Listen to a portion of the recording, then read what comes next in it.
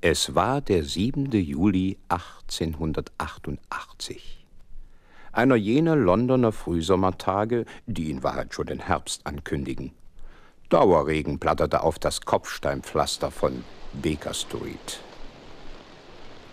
Bei Holmes, wie immer nur Haut und Knochen, leicht fröstelte, hatte ich den Kamin angezündet. Aber nicht seine Hitze trieb jetzt die Schweißperlen auf meines Freundes hohe Stirn. Sie rührten von der Hartnäckigkeit her, mit der er auf der Violine wie besessen die Kadenz mit dieser kitzlichen Apertchen-Passage aus dem E-Moll-Konzert von Mendelssohn Bartholdy zu beherrschen suchte.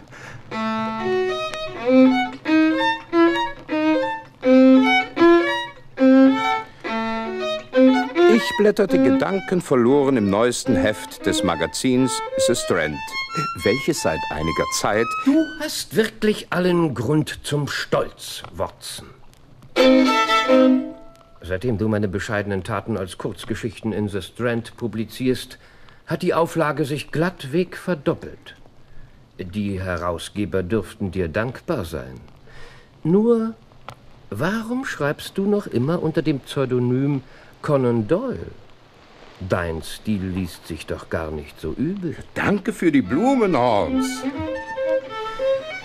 Jeder Mann hat so seine Meriten. Du offenbar bist auf Virtuosenruhm aus. Da lebst du schon so lange mit mir und verstehst von meiner Natur immer noch so wenig.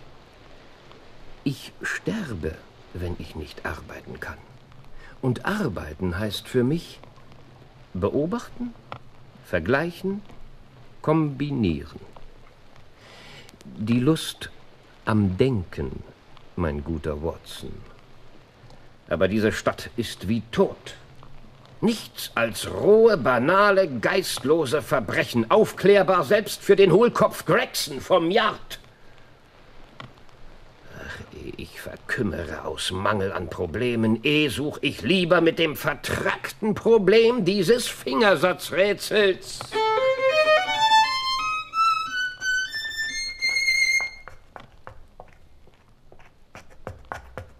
Besuch? Eine Dame. Keine 20 mehr, sie stiege die Stiege sonst nicht so taktfest herauf. Noch keine 30, sie stiege die Stiege sonst nicht so rasch. Gute Manieren, sie redet leise. Ein armes Fräulein mit Pensionatserziehung. Wäre sie reich, so wäre sie herrisch und wäre schon drinnen. Mr. Holmes, äh, da ist. Eine Klientin. Scheint so. Bitten Sie sie herein. Schickt dir der Zufall grad jetzt einen Fall? Ich lehne den Zufall ab. Dieser Besuch, Watson, in diesem Moment ist ein Akt der poetischen Gerechtigkeit. Ich hör's noch wie heute. Als ihr Name fiel, schlug die Uhr am Big Ben. Miss Morstan, Sir. Miss Morstan? Miss Mary Morstan, die einzige Tochter von Captain George Morstan. Oh, woher wissen Sie? Es ist mein Beruf, das zu wissen, was die anderen Menschen nicht wissen. Guten Tag. Dies ist mein findiger Freund. Guten Tag, Dr. Watson. Oh, äh, woher wissen denn Sie? Sie? Strandfreund ist ein vielgelesenes Blatt. Ich mag Ihre bescheidene Art zu schreiben. Jeder weiß, wer hinter dem Pseudonym Conan Doyle. Nun, ich, äh, Miss Morstan, ich ziehe mich zurück. Sie haben gewiss. Nein, bleiben Sie. Bitte. Sie wünschen? Ja, dann. Ich ähm, komme. Wegen Ihres Vaters natürlich. Er ist also nie wieder aufgetaucht. Nein, ach nein. Jetzt weint sie. Musste auch immer mit der Tür so ins Haus. Nehmen Sie diesen Schluck Brandy. Es geht schon. Ich bin eine sentimentale Gans. Das sind Sie nicht. Sie müssen verzeihen. Ich lebe von den Rätseln des Lebens. Ja, ein solches Rätsel ist um Ihren Vater. George Morstan, Captain im 34. Bombay Infanterieregiment, zuletzt Kommandant des Straflagers auf den Andamanen, äh, einer kleinen Inselgruppe südwestlich von Indien. Im Jahr 78 äh, bekommt er endlich Heimaturlaub. 78, das war vor zehn Jahren. Ich war 17 damals, lebte in Edinburgh im Pensionat. Tatsächlich. Ja, wieso nicht? Mein Freund träumt. Captain Morstan kommt am 3. Dezember 1878 in London an, steigt ab, Im Hotel Casablanca? Von wo er mir seine Ankunft telegrafiert. Ich außer mir vor Freude nehme den nächsten Scotland Express, eile von Victoria Station ins Hotel. Und finden dort Ihren Vater nicht vor. Sie warten. Sie schalten Scotland Yard ein, natürlich vergebens. Ich warte noch heute. Warum kamen Sie damals nicht schon zu mir? Nun, ich hatte noch nichts publiziert über dich. Und warum kommen Sie heute, nach zehn Jahren? Das tröstet mich, Holmes. Du lässt dich herab zu uns gewöhnlichen Sterblichen. Du fragst. Du weißt also doch nicht alles. Ich weiß, was die Times schrieb über den Fall Watson. Ich habe dir immer gesagt, du musst die Presse gründlicher lesen. Doch sicher wissen Sie nichts von den Perlen. Von Perlen? Von diesen. Hm. Ja. Fantastisch. Sechs indische Perlen von seltener Größe. Welch ein Reichtum. Sie als Eigentum nicht betrachten. Sie fanden sich nicht im Gepäck Ihres Vaters? Er führte keinerlei Kostbarkeit mit sich. Nein, vier Jahre nachdem er verschollen, erhielt ich ein Päckchen mit solch einer Perle. Äh, hier ist noch der Umschlag. Poststempel 4. Mai 82. Wie klug, dass Sie dies mitgebracht haben. Und seitdem jedes Jahr eine Perle. Bis heute. Heute? Hier. Dieser Brief kam. Feines Papier, kein Absender. Dieselbe Schrift wie auf dem Päckchen. Die Schrift Ihres Vaters? Auf gar keinen Fall. Heute Abend 7 Uhr vor dem Lyzeumtheater. Dritte Säule von links. Man hat sie geschädigt. Man will sie entschädigen. Keine Polizei bei ihrem Leben. Begleitung von zwei harmlosen Freunden gestattet. Jemand, der ihnen wohl will. Aha. Werden Sie dieser harmlose Freund sein, Mr. Holmes? Mit Freuden. Ich dächte, ich war gefragt. Im Brief war von zwei Freunden die Rede. Deswegen bat ich Sie ja zu bleiben. Seien Sie 20 Minuten vor sieben mit einer Droschke vor unserem Haus. Ich danke Ihnen von ganzem Herzen. Sie ging. Mit ihr entschwand ein Hauch von Frische und natürlicher Anmut, wie ich in unseren chaotischen Junggesellenzimmern ihn noch niemals gespürt. Man soll Menschen nie nach dem Äußeren beurteilen. Die reizendste Frau, die ich je kannte, mit dem Lächeln der Unschuld auf den schwellenden Lippen, sie hatte ihre drei Kinder vergiftet. Um eine kleine Erbschaft. Leb wohl. Ich schickte ihm einen Fluch hinterher für seine Gefühllosigkeit. Aber er, ohne sich umzuschauen, begab sich zur Bibliothek nahe dem Highgate-Friedhof. Auf die Minute pünktlich holte Miss Morstan uns ab. Ich bewunderte die stille Gefasstheit, mit der sie dem geheimnisvollen Rendezvous entgegensah. Während der kurzen Fahrt zum Lyzeum-Theater hing jeder von uns seine Gedanken nach. Nur einmal vergewisserte sich Holmes. Deinen Revolver führst du doch bei dir. Wie du denn deinen? In der Nähe des Theaters verließen wir die Droschke. Man gab Shakespeares Morddrama Macbeth und auf dem Vorplatz herrschte lebhafter Betrieb. Die bezeichnete dritte Säule von links. Bleiben Sie dicht bei uns, Miss Morstan. Heil dir, Macbeth. König von Schottland. Seine Morde waren leicht zu beweisen. Aber wer klagt einen König schon an? Sie werden verzeihen. Sind Sie Miss Morstan? Allerdings. Diese Herren? Meine harmlosen Freunde. Wirklich nicht von der Polente? Sehen wir etwa so aus, Mann? Nee, das ist wahr. Bullen rauchen nicht Pfeife. Hab auch noch nie einen mit so einer komischen Mütze gesehen. Sie schwören? Okay.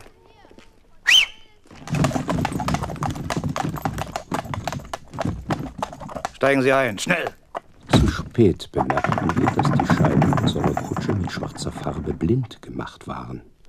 Dafür aber hatte der Delegierte des geheimnisvollen Briefschreibers auf dem Bock Platz genommen und wir konnten ungestört miteinander flüstern. Man will Miss Morstan entführen. Und erlaubt ihr zwei Leibwächter mitzubringen. Nein, Mr. Scholto meint es nicht böse. Wer? Scholto? So hieß Vaters einziger Freund hier in London. Ich weiß. Wir fahren durch Rochester Road. Nur sie führt so lange Schnur geradeaus. Nein, jetzt biegen wir ab nach rechts. Das muss Vincent Square sein. Ja, Major Scholto. Äh, ebenfalls 34. Bombay-Infanterieregiment. Er kehrte ein Jahr vor ihrem Vater nach London zurück, auch vom Camp auf den Andamanen. Jetzt klingt's hohl. Wir überqueren wohl Vauxhall Bridge, über die Themse hinüber zur Surrey-Seite. Aber Major Scholto wurde damals befragt. Er schwur, Vater in London nicht begegnet zu sein. Den vielen Kurven nach Cold Harbor Lane. Die Highgate-Bibliothek, beste Miss Morstan, bewahrt auch die Chronik des 34. Regiments. Wann erhielten Sie die erste Perle? 82, am 4. Mai. Genau 14 Tage vorher, am 20. April 82, stirbt Major Sholto. Auf Schloss Pondicherry Lodge. Watson? Fällt dir dabei nichts auf? Nun, äh, höchstens, äh, dass die Pension eines Majors niemals ausreicht, ein Schloss. Da spricht er aus eigener Erfahrung, Miss Morstan. Das muss Stockwell Place sein. Den haben sie immer noch nicht gepflastert. Und jetzt Wandsworth Road, wie ich höre. Hier hab ich Murdoch, den Frauenmörder, gefasst. Sie meinen zwischen dem Tod Major Scholtos und der Übersendung der Perle? Muss es einen Zusammenhang geben. Man hat sie geschädigt. Wodurch denn, wenn nicht durch den Verlust des Vaters? Man will sie entschädigen. Wer denn, wenn nicht? Wir hielten vor einem einsamen Haus mitten in einem ruinenhaften Neubaugebiet. Aus den Fenstern schimmerte mattes, purpurfarbenes Licht. Wer kam da? Die Dame? Die Dame, genau. In Shivas Namen für sie herein. Von einem Divan inmitten des nach Weihrauch und Sandelholz duftenden Raumes, dessen Portieren mit indischer Perlenstickerei verziert waren, erhob sich ein kleiner Mann. Sein Kopf war vollständig kahl. Ach, Miss Morstan. Sie sind doch Miss Morstan. Ich bin Mary Morstan. Mein Beileid. Was soll das heißen? Ah, Polizisten. Hinaus, hinaus, Die hinaus. Herren sind Freunde. Harmlose Freunde, gemäß Ihrem Brief. Es war doch der Ihre, Mr. Sadeus Scholto. Allerdings. Äh, Doch woher? Das Guinness-Adressbuch. Mr. Holmes, Dr. Watson, aber... Dr. Watson? Doktor? Ah, Arzt. Haben Sie denn Ihr Hörrohr dabei? Ohne mein Stethoskop. Hör, hören Sie mein Herz ab. Hören Sie es ab. Die Aufregung macht mir die Herzkranzgefäße. Der Streit mit Bartholomew. Hören Sie es ab. OB. Gleichmäßig wie die Uhr von Westminster. Gleichmäßig. Wirklich. Shiva sei Dank. Das wundert mich. Bei dem Sohn eines Mörders? Aber nein, Papa hat ihn nicht umgebracht. Den hat er nicht. Er starb eines natürlichen Todes. Wer Oh, starb? Captain Morstan. Wie gesagt, mein herzliches Beileid. Oh Gott. Ihre Hand, Dr. Watson. Damit sank sie in Ohnmacht. Für einen viel zu kurzen Moment hielt ich das entzückende Geschöpf in meinen Armen. Dann bettete ich sie auf die Ottomane und wendete Kampfer an, der in solchen Fällen für gewöhnlich rasch hilft. Ich bin eine schreckhafte Gans. Überhaupt nicht. Ich muss jedoch alles wissen. Wie starb er? Ihr Vater. Sie erlauben, dass ich die Wasser pfeife.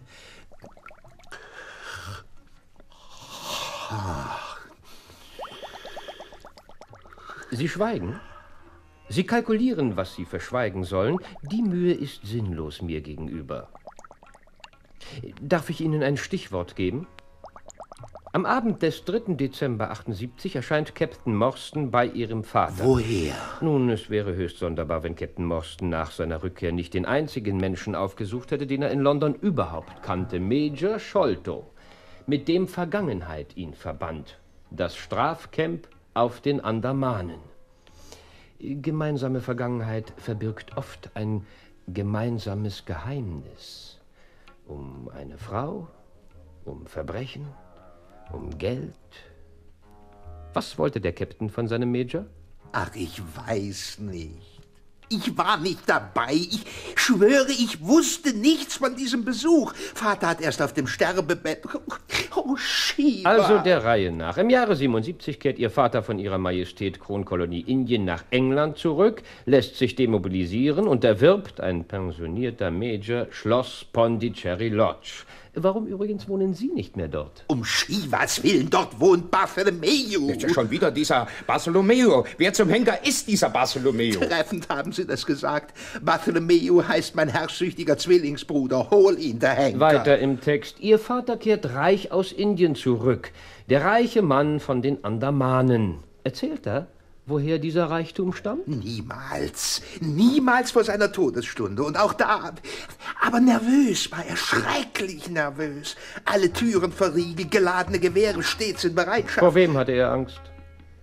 Vor Captain Moss. Der Name fiel nie, nein, völlig absurd. Er fürchtete einen Mann mit Stelzbein. Mit Stelzbein? Beschrieb er den Gefürchteten näher? Seine Hautfarbe etwa? Ja, er sagte, ein weißer Krüppel mit Holzbein. Und? Kam denn ein solcher? Ach, ich kann Schießen nicht ausstehen. Einmal schoss Papa auf einen Bettler mit Holzbein. Shiva sei Dank, er traf nur das Holz. Und?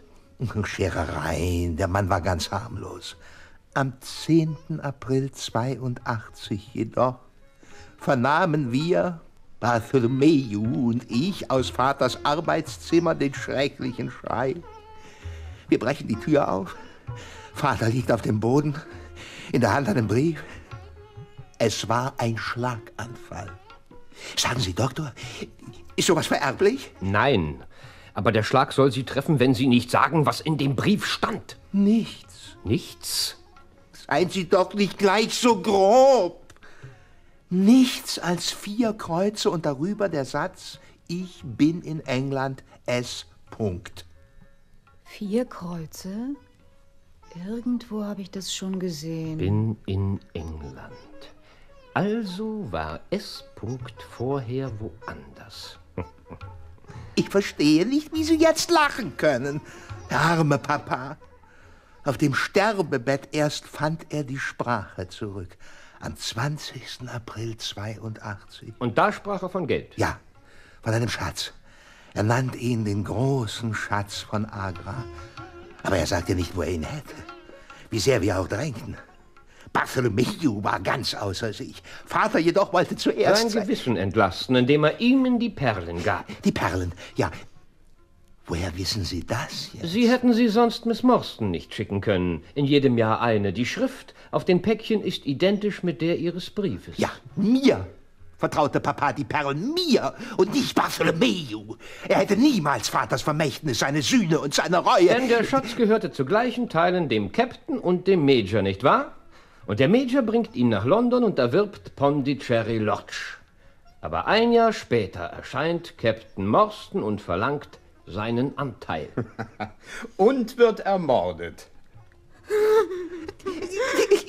Nein, bei Shiva! Vater schwur auf dem Totenbette, das ist ein Unfall, der Jähzorn des Captain. Und plötzlich schrie Papa mörderisch auf. Da, schrie er, das Gesicht, da, am Fenster, die bärtige Fratze. Wir waren herum, das Fenster ist leer. Und Vater ist tot. Das Versteck des Schatzes benannte er nicht mehr? Wir haben gesucht. Gesucht und gesucht. Im ganzen Schloss, in den Kellern, im Park. Heute hat Bartholomew die Truhe gefunden. Er schrieb mir, ich fuhr hin, dann schrieb ich Ihnen. Ja, Ihnen, Miss Morstan. Sie müssen doch Ihren Anteil haben.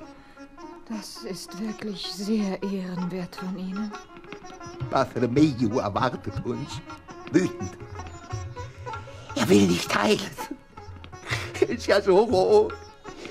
Lass immer so Ruhe! Ich hasse ihn! Fahren wir hin.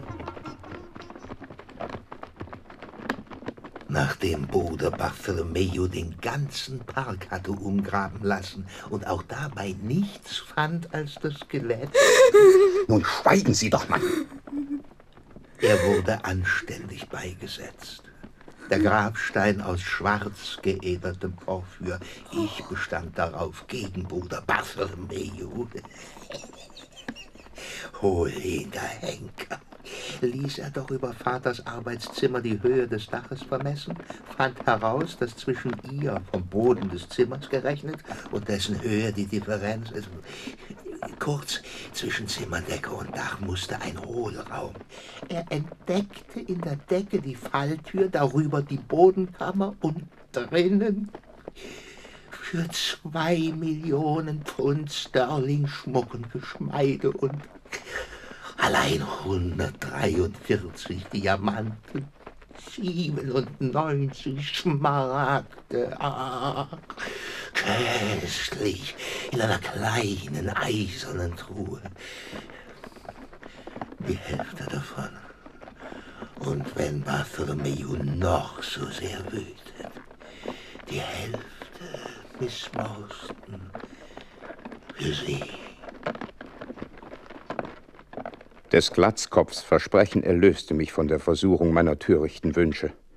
Denn der Besitz von einer Million erhob Mary Morstan in für mich unerreichbare Höhen.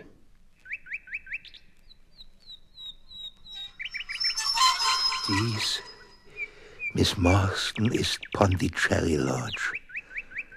Jetzt muss Bruder Bartholomew. Sie müssen Ihr Anrecht Vorher will ich das Grab meines Vaters. sehen. unter der Blutbuche links vom Portal. Stumm stand sie vor dem im Mondlicht schimmernden, jedoch nicht beschrifteten Stein. Plötzlich, mich überlief ein Schauer. Plötzlich, mir stockte der Atem.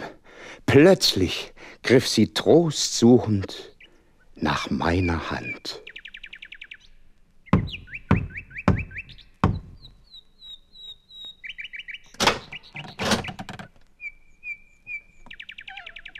Da sind wir, McMurdo. Geh hinein und meld uns an. Sie kenne ich, Mr. Sedeus. Sie dürfen reinkommen. Die Leute da kenne ich nicht. Die bleiben draußen. Aber Mr. Bartholomew weiß, er erwartet uns alle. Nee, Mr. Bartholomew ist den lieben langen Tag nicht aus seinem Arbeitszimmer gekommen. Er hat mir nichts aufgetragen. Nehmen Sie einen Fuß aus der Tür, Mister, sonst. Hauen Sie ab, ich kenne Sie nicht. Oh doch, McMurdo, mich kennst du schon. Drum bleibt mein Fuß in der Tür. Wer zum Teufel? Denk mal vier Jahre zurück, McMurdo. Piccadilly Circus, Allison Room, das Boxturnier. Wer schlug dich da in der dritten Runde? Das war ein Knockout. Mr. Holmes! Hätten Sie mir jetzt Ihre trockene Rechte, ich, ich hätte sie sofort. Warum sind Sie nicht geblieben im Club? Mit Ihrem Talent? Sie hätten es verdammt weit bringen können.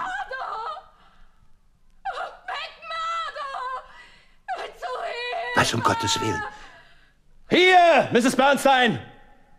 Die Wirtschafterin von Bartholomew. Mr. Thaddeus. Oh, Mrs. Bernstone, was ist passiert? Hier steht übrigens Miss Morstan, von der ich Ihnen. Oh, Gott segne Sie und Ihren Verlobten. Das ist, äh, das ist leider ein Irrtum. Ach, wenn nur mich einer so an der Hand. Oh, das Gesicht. Es ist schrecklich. Der arme Mr. Bartholomew. Was denn? Waren Sie in seinem Zimmer? Das ist Mr. Holmes. Sie sind. Na, Sie schickt unser Herrgott. Schauen Sie sich sein Gesicht an. Nein, drin war ich nicht. Es, es ist ja verschlossen. Blau und eine Grimasse. Gräulich. Ich habe ihn durchs Schlüsselloch, na, weil er doch den ganzen Tag nicht aus seinem Zimmer. Dieses Gesicht. McMurdo, den Feuerhaken dort vom Kamin. Wo ist das Zimmer?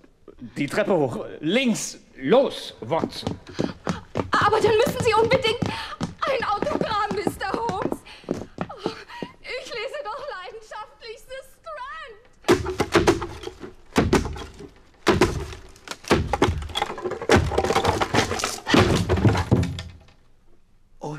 Shiva.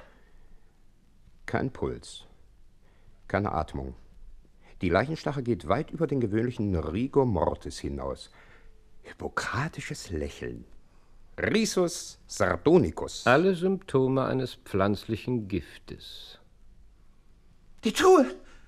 Sie ist weg.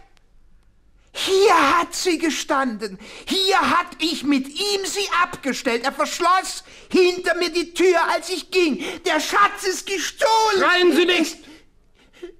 Nehmen Sie Ihren Wagen, rasch. Die nächste Wache ist Robert Street. Polizei? Nein. Fahren Sie schon? Oder haben Sie Angst? Halt! In diesem Zimmer verstarb auch Ihr Vater. Allerdings. Gehen Sie! Das ist kein Anblick für Damen. Mr. Watson. Aha. Was ist denn das? Watson, schau dir den Zettel an. Vier Kreuze, die mit den Seitenarmen einander berühren. Nur Gleich einer Kette. Ich bin eine schreckhafte Gans. Vier Kreuze? Zeigen Sie. Hier stinkt es abscheulich. Ja, nach Hylotox. Was denn? Sie sind immer noch da? Machen Sie, dass Sie zur Polizei. Miss Morstan, was haben Sie denn? Ich glaube, jetzt weiß ich. Und Das ist unheimlich. Nein, ich muss erst nach Hause, muss nachschauen. Sie kennen dieses Zeichen, Miss Morstan? Ich glaube, es ähnelt dem Zeichen der Vier. Mit der ihm eigenen kühlen, aber raschen Präzision erteilte Horns seine Anweisungen. Der Wagen Scholtos sollte in Robert Street den angstschlotternden Glatzkopf Sadeus absetzen und dann Miss Morstan nach Hause bringen, wo sie nach dem Zettel mit dem Zeichen der Vier suchen wollte, den sie in der Hinterlassenschaft ihres Vaters gesehen zu haben glaubte. Dann wollte sie meinen Besuch abwarten. McMurdo und Mrs. Bernstein wurden ins Souterrain verwiesen. Wir blieben allein. Jetzt haben wir 30 Minuten für uns. Herrliche 30 Minuten Arbeit. Leider liegt der Fall ziemlich klar. Ja, was liegt denn hier klar? Ein Toter in einem verschlossenen Raum, auch das Fenster ist fest verriegelt. Und dennoch hat jemand den Mann getötet. Äh, Schau hier hinter seinem Ohr. Sieht aus wie ein Dorn. Es ist ein Dorn. Zieh ihn heraus. Vorsicht, er ist vergiftet. Und zertritt nicht die Fußspur. Fußspur. Hm. Ein runder, erdiger Abdruck. Von einem Stelzfuß. Von. Von was? Der Mann mit dem Holzbein, den Major Scholto so sehr gefürchtet. Die Erde ist roter Lehm aus dem Park. Tatsächlich. Der Dorn einer tropischen Pflanze. Die Spitze in schwarze Tinktur getaucht. Ja, wer um Himmels Willen benutzt denn Derselbe, dem auch diese Waffe gehört. seine Art Steinbeil? Höchst primitiv. Hm. Als ob ein Neandertaler. Äh, Nein, Holmes. Also mir ist diese Angelegenheit zu verworren. Im Gegenteil, sie wird immer klarer. Du verstehst die Sprache der Dinge nicht. Vielleicht hast du die Güte zu dolmetschen. Lass uns erst alle Chiffren studieren. Meinetwegen. Wenn ich auch nicht. Also. Ach, dieser Gestank. So öffne das Fenster. Da! Auf dem Sims. Wieder der kreisrunde Abdruck, nicht wahr? Ja, verdammt, und ein zweiter. Sehr gut, von einem eisenbeschlagenen Schuh. Das ist unser Mann. Natürlich. Ein Krüppel mit Holzbein erklimmt diese glatte, 60 Fuß hohe Hauswand. Hm, So unmöglich. Nicht, wenn ihm ein Helfer dies Seil herabließ, das hier in der Ecke. Unser Stelzfuß hat also einen Komplizen. Ein Krüppel und ein Neandertaler. Völlig absurd. Nein, logisch, mein Freund, logisch. Du bist auf der richtigen Spur. Der Gestank ist entsetzlich. Wo kommt es bloß her? Dieser Bartholomew war wohl Chemiker aus Passion. Diese Stube ist ja das reinste Labor. Ah! Wirklich, ein Glasballon Hylotox, womit man Holz imprägniert gegen Würmer. In Scherben. Die Brühe lief auf die Dielen. Holmes! Interessant. Ein Fußabdruck in der stinkenden Pfütze. Ja, aber. Das ist doch der Fuß eines Kindes.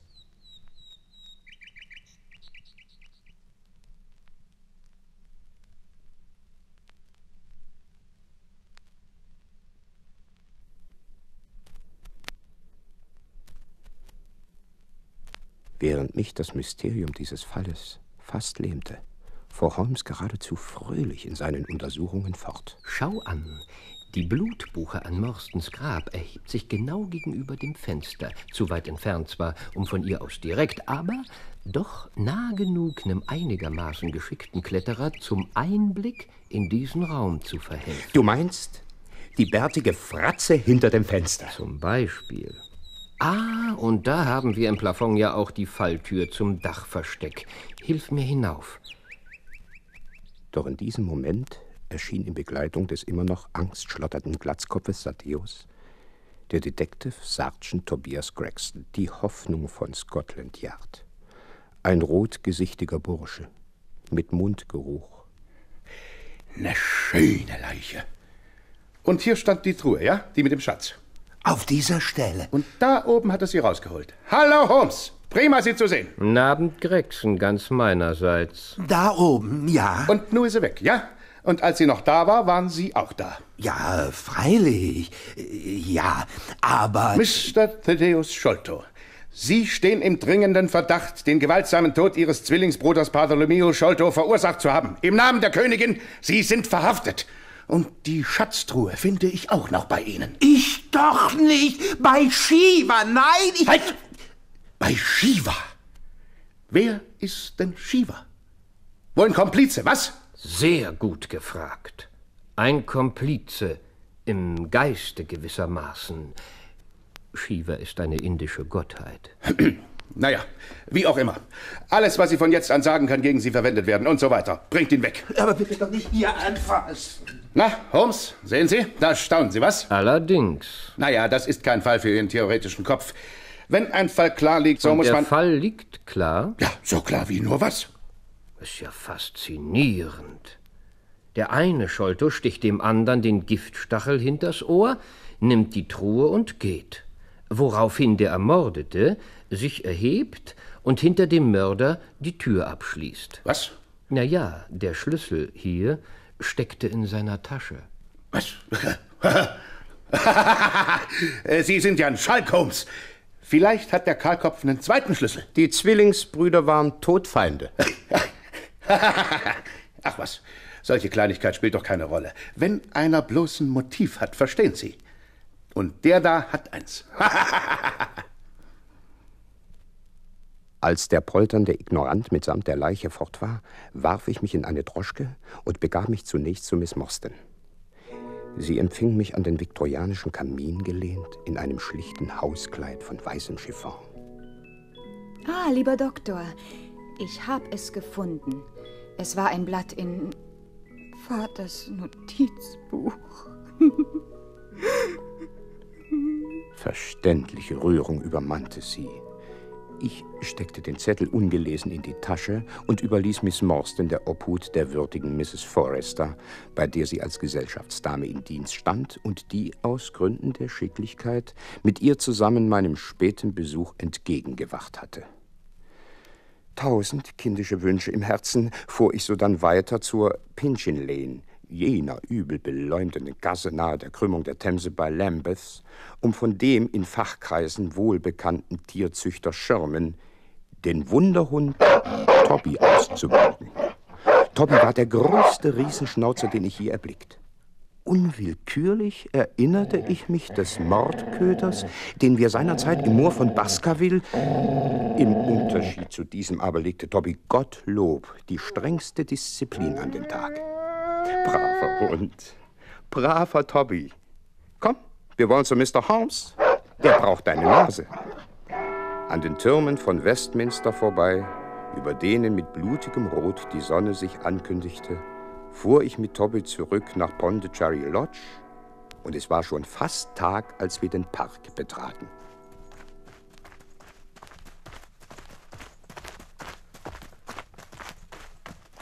Hey, Watson!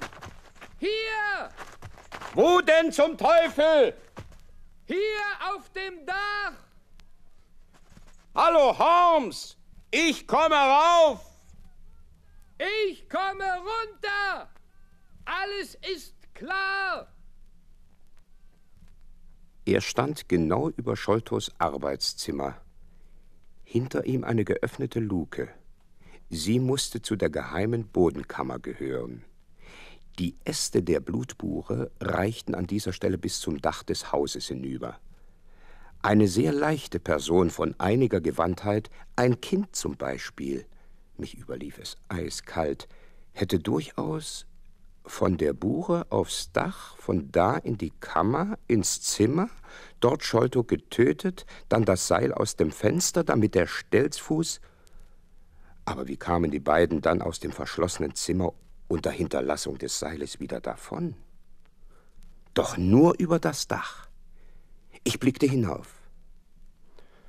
Holmes schien wie immer die treffende Idee schon vor mir gehabt zu haben. Denn gerade balancierte er mit der Grazie eines Seiltänzers auf dem Dach entlang zur weit entfernten Regenrinne und kletterte dann geschickt an dieser zu mir herab.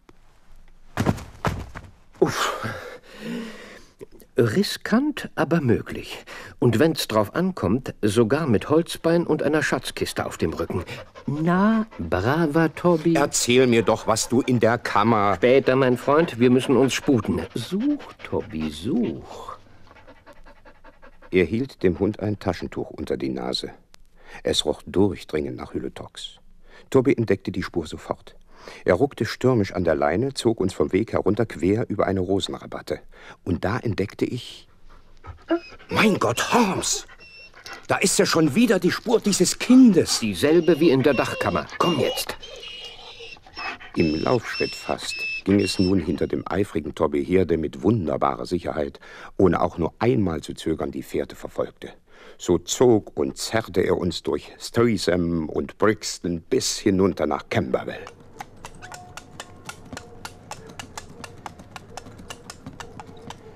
Die Schurken fliehen zur Themse hinab. Langsamer, Tobi, langsamer. Die Spur wird offenbar frischer und frischer. Wir sind unserem Pärchen dicht auf den Fersen. Du solltest deinen Revolver entsichern, Watson. Welch ein Verkehr hier in Kennington Lane. Und dennoch ist Tobi nicht zu beirren. Ein wahres Genie von einem Spürhund. Bei Riesenschnauzern hat man das nur selten. Der Trubel von Knight's Place. Such! Tobi, such! Ah, da in den Hof. Watson, jetzt mach dich auf alles gefasst.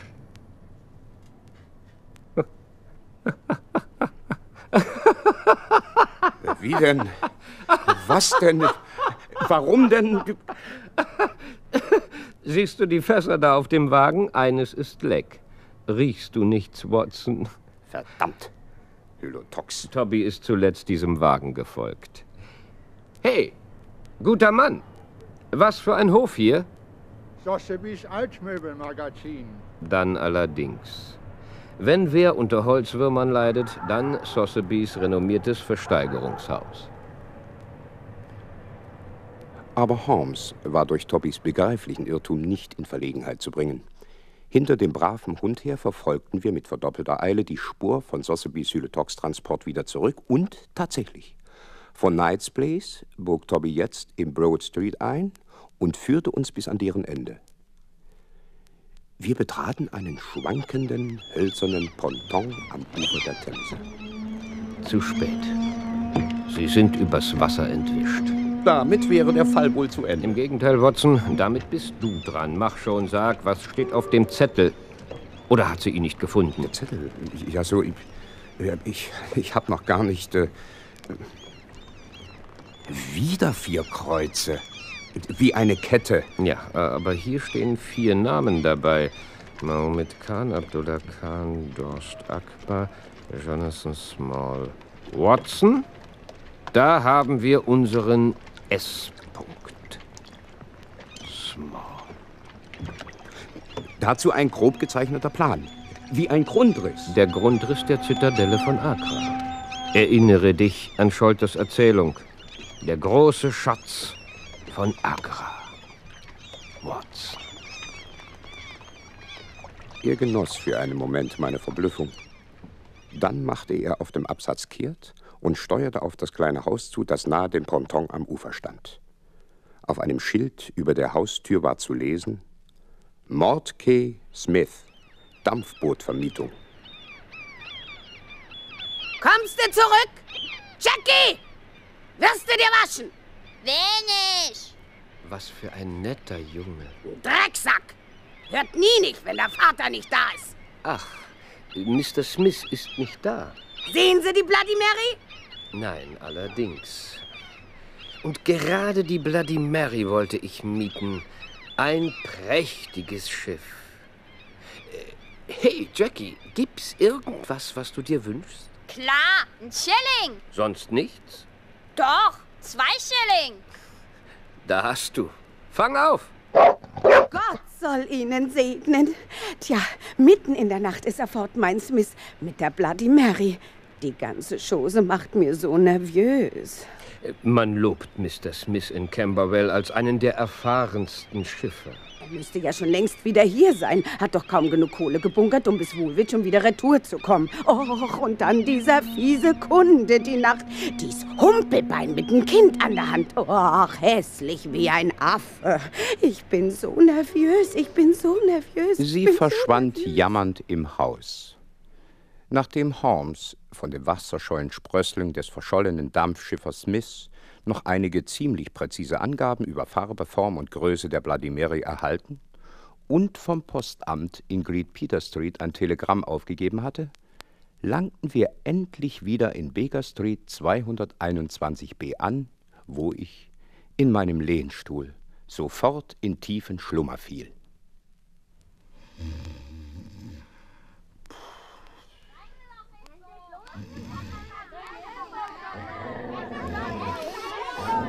Still, Toby. Platz, Platz. Was gibt's denn? Wir sollen sofort zum Chef. Aber doch nicht. Ah, mein braver Lieutenant Wiggins. Lieutenant Wiggins? Lassen Sie sie herein, Miss Hudson. Streift euch zumindest die Füße ab. Schuhe habt ihr ja so keine an. Hallo, Mr. Holmes. Hallo, Dr. Watson. okay. Hier, Mr. Ah, rein in die gute Stube hier. Da sind wir, Chef. Brachte die ganze Truppe gleich mit, weil in Ihrem Telegramm lese ich was von Fahndung. Richtig gedacht, Wiggins. Siehst du, Watson? Das ist mein Detective-Bataillon. Sie kennen jeden Winkel von East End, kommen überall rein, sehen alles und, Watson, Sie fallen niemandem auf. Anders als Gregson und seine Männer mit ihren Gummimänteln und steifen Hüten, was, Jungs? Wie rasch ihr hier seid. Vier Schilling Sixpence, Chef. Für die Busbillets. Ist er nicht prächtig, Watson? Hier hast du. Passt auf. Ihr sucht ein Dampfboot. Themse abwärts von Broad Street. Sein reizender Name ist Bloody Mary. Der Rumpf schwarz mit zwei weißen Streifen, der Schornstein ebenfalls schwarz mit rotem Rand. Einer von euch hält Wache in Broad Street am Steg von Mordkay Smiths. Bezahlung, wie immer. Zwei Guineen extra für den, der die Bloody Mary entdeckt. Ei, ei, Chef. Und nun raus! Die schnappen wir uns doch im Nee, passt mal auf. Jetzt bleibt uns nichts als warten. Wenn die Bloody Mary auf dem Wasser liegt und nicht drunter, werden Sie sie zu finden wissen. Und mit ihr unseren Mann. Und das Kind. Ach, mir ist unheimlich, Holmes. Ja, mir auch. Vor allem, weil dieses Kind ganz gewiss kein gewöhnliches Kind ist. Nein, ganz gewiss nicht. Ja. Ein Kind, das eine Steinaxt benutzt, das über mehrere Meter Entfernung per Blasrohr einen vergifteten Dorn Mr. Scholto genau hinters Ohr appliziert. Per Blasrohr? Von welcher Stelle denn aus? Natürlich von oben. Durch die Falltür zu der geheimen Kammer. Die Lage der Leiche, die Richtung des Dorns. Hast du wieder mal gar nichts bemerkt? Na, selbstverständlich nicht so viel wie du. Die Übermüdung macht dich reizbar, mein Freund. Ich besitze weder deine eiserne Kondition noch deinen Scharfsinn. Ich bin Arzt. Ach, was du meine Kondition nennst, ist nichts als die Anspannung durch den Reiz eines Rätsels. Aber während du schliefst, habe ich es leider gelöst. Du machst mich wahnsinnig, Holmes. Willst du damit sagen? Die Zeichnung, die du von Miss Morstan brachtest, wurde zum Schlüsselglied meiner Kette. Der Rest steht im Geografiehandbuch unter A. Schau nach, Watson, da, wo ich den Zettel. Anakrion, Analysis, Anklam, Andreas, Andamanen. A Andamanen. Aha. Inselgruppe in der bengalischen Bucht 340 Meilen nördlich von Sumatra. Mhm. Korallenriffe, Haifische, Straflager der britischen Kolonialarmee. Dort war Captain Morstan der Chef, Major Sholto sein Stellvertreter und Jonathan Small einer ihrer Gefangenen. Die Haie ersetzten den Stacheldraht. Weiter. Die Ureinwohner der A. -Punkt gelten als die kleinste lebende Menschenrasse. Höhe im Durchschnitt vier Fuß. Ach, hässlich? Große Köpfe? Besonders kleine Hände und Füße? Da hast du deine Kinderspur, Watson. Mein Gott! Bewaffnung. Steinbeil, Blasrohr, vergiftete Pfeile, Neigung zum Kannibalismus. Ja, Watson, nun haben wir alles beisammen für ein neues Ruhmesblatt in den Annalen unserer glorreichen Kolonialarmee. Nur wird es wohl niemals geschrieben werden. Ich werde es schreiben. Ich ahne. Ein paar Dinge müsstest du mir allerdings noch erklären. Alles beginnt mit dem Zeichen der Vier. Drei indische Sikhs ihren Namen nach und Small, ein britischer Soldat, offenbar trotz seines Holzbeins. In den Wirren der Kämpfe um Agra, du erinnerst dich, Watson, an die verzweifelten Versuche der Inder, unsere Armee das Sesshaftwerden auf ihrem Subkontinent zu verweigern, gelangen die vier, frag mich nicht wie, in den Besitz eines gewaltigen Schatzes, der jedenfalls Engländern nicht gehörte. Sie verstecken ihn in der Zitadelle, um ihn in friedlichen Zeiten aufzuteilen. Daher der Lageplan, daher die Anordnung der Kreuze, die einem Gelöbnis gleicht, einem Versprechen.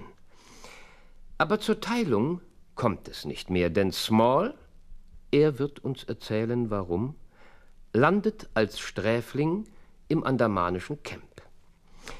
Was aus den Sikhs wurde, kann ich nicht sagen. Es ist viel Blut geflossen in Indien. Und nun folgt das Bubenstück der wackeren britischen Offiziere. Wahrscheinlich, gegen das Versprechen, ihn freizulassen, will Small seinen Schatz mit ihnen teilen. Er offenbart das Versteck. Sie betrügen ihn. Sholto bringt den Schatz an sich und flieht nach England. Ein Jahr darauf folgt ihm Morstan. Und der betrogene Small bleibt gefangen. Dies alles erklärt Scholtos Angst vor dem Krüppel. Es erklärt sein Erschrecken, als er den Brief liest. Was er befürchtet, war eingetreten.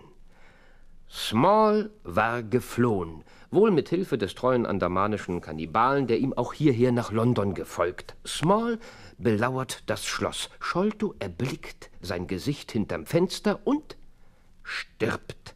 Aber Small erfährt auch, und hol mich der Teufel, wenn nicht durch meinen Sparingspartner McMurdo, dass der Schatz nicht aufzufinden. Er wartet geduldig, er wartet bis gestern.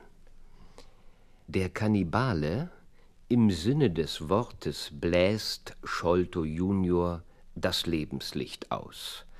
Sie fliehen mit dem Schatz, und Small hinterlässt bei dem Toten als Urkunde seines Anspruchs und Rechtes das Zeichen der Vier.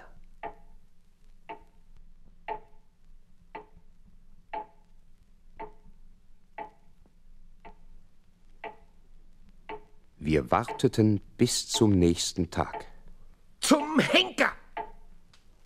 Der Fall ist klar und der Täter verschwunden.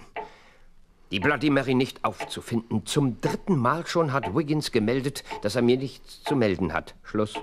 Ich mache mich selbst auf die Suche. Und wenn Sie doch hinaus in die Straße Sie von haben Dover- zu wenig Kohle an Bord. Die Bloody Mary ist auch kein seetüchtiges Schiff. Es gibt genug Fähren hinüber zum Kontinent. Es gibt Transatlantikliner. Sie haben ja Geld. Und ein viel zu auffälliges Signalement. Nein, Watson, nein. Sie warten versteckt, bis Sie glauben, dass man nach Ihnen nicht mehr sucht. Aber ich suche und werde Sie finden. Ich gebe dir Nachricht. Leb wohl.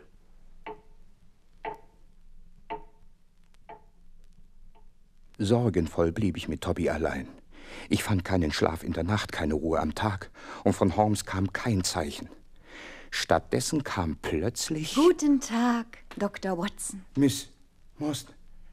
Miss Morstan. Ich bin eine sentimentale Gans. Ich hielt es bei Forresters nicht mehr aus.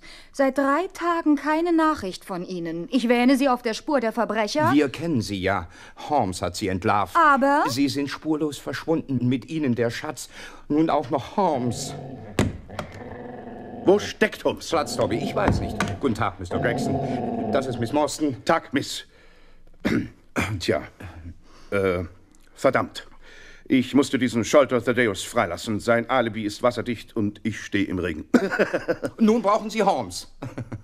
Gott, äh, brauchen. Außerdem hat er mich telegrafisch hierher bestellt. Ich weiß aber gar nicht. Dr. Watson, da wäre schon wieder dieser Wiggins. Hallo Doktor, Tag Bulle. Oh Miss, küsst die Hand. Ich werde dir. Mich schickt der Chef und lässt ihn sagen, wenn Sie einen Killer haben wollen von Scholto, dann sollen Sie jetzt machen, was ich Ihnen sage. Rück schon raus damit, Freundchen. Mit dem schnellsten Dampfboot und ein paar von Ihren Greifern an Bord sollen Sie heute Abend pünktlich um sieben sich am Quai von Westminster einfinden. Ich und Mr. Holmes haben nämlich die Bloody Mary endlich entdeckt. Es war der pfiffige kleine Wiggins, der auf die Idee kam. Fahren wir los. Welchen Kurs? Stromabwärts zum Tower. Sie stoppen gegenüber von Jakobsens Werft. Ja, Wiggins meinte, wenn wir die Bloody Mary an keinem Steg entdecken könnten, sowohl deshalb, weil sie maskiert worden sei. Das heißt, maskiert? Sie meinen, man hat Ihr Aussehen verändert. Genau. Ich bin doch froh, Miss Morstan, Watsons dringender Bitte nachgegeben und sie mitgenommen zu haben. Nun, Toby hier passt schon auf mich auf. Miss Morstan, finde ich, hat ein Anrecht darauf, als Erste den Schatz... Ich suchte also in Reparaturdocks. Zehnmal vergeblich. Bei Jakobsen habe ich sie endlich gefunden. Maskiert. Die weißen Streifen schwarz übermalt und der Name verändert. Sie heißt jetzt White Virgin. Heute Abend um acht soll sie abgeholt werden. Wir dampften an der City vorbei und verbargen uns hinter einem Pfeiler von Tower Bridge, von wo aus wir Jakobsens Werft gut im Auge behalten konnten.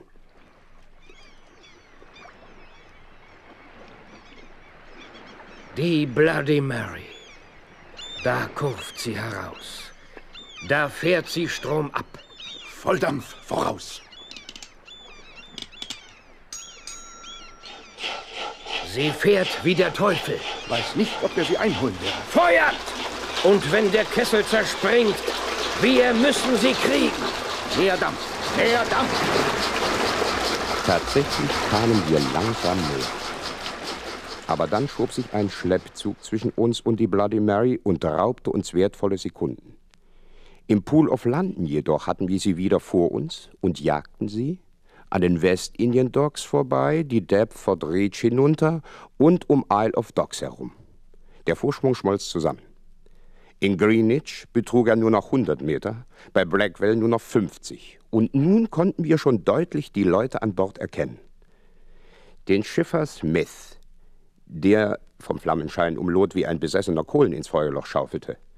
Der untersetzte, vollbärtige Mann, der mit gespreizten Beinen am Ruder stand, konnte nur Jonathan Small sein. An der Heckreling aber lauerte zwergenhaft klein das hässlichste Geschöpf, das ich je erblickt hatte. Es hob ein langes Rohr an die Lippen, wobei seine Augen bösartig funkelten. Schieß, Watson, wenn dein Leben dir lieb ist.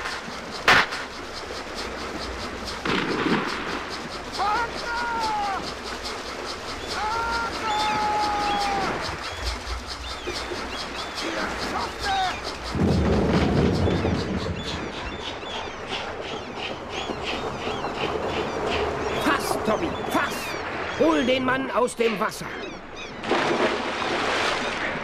Erst nachträglich begriff ich das wirre Geschehen. Von unseren Schüssen getroffen, war der andamanische Kannibale Tonga ins Wasser gestürzt. Dabei hatte Small vor Schreck und Wut die Ruderpinne verrissen und die Bloody Mary oder White Virgin, wie sie jetzt hieß, gegen das Ufer gesetzt. Die Gewalt des Anpralls schleuderte auch Small in die Fluten der Themse. Aber der brave Toppy fischte ihn heraus, so dass Gregson und seine Männer ihn greifen konnten. Das war knapp. Schau, Watson. Und auch Sie, Miss Morstan. Oh Gott. Im Holz der Kajütwand, vor der Holmes und ich gestanden, steckte ein schwarz glänzender Dorn. Gregson inzwischen hatte auch den betrunkenen Schiffer Smith verhaften und mitsamt der Schatztruhe von dem Wrack auf unser Boot herüberbringen lassen. Da stand nun die kleine, eiserne Truhe mit dem Agra-Schatz, der so viel Verwirrung, Leiden und Tod gestiftet, vor uns. Nehmt einen Bootshaken, brecht das Ding auf. Verdammt, was ist das? Die Kiste ist leer. Wirklich leer. Gott sei Dank. Sie sind wirklich ein Mann von Charakter. Small. Wenn ich ihn nicht krieg, soll keiner ihn haben. Der Agra-Schatz liegt auf dem Grund der Themse.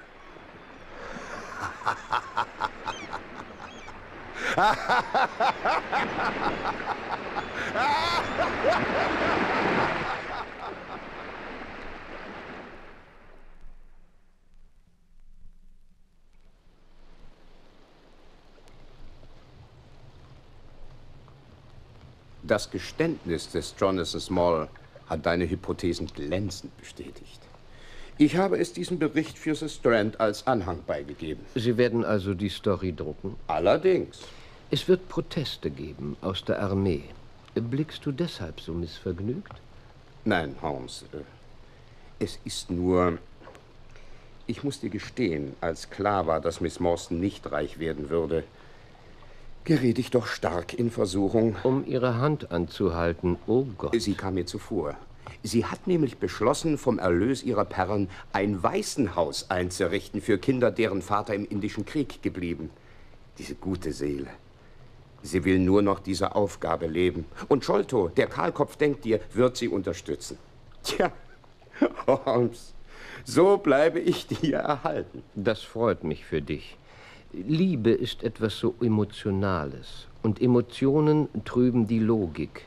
Ich werde niemals heiraten, siehst du, aus Furcht, meinen Verstand einzubüßen.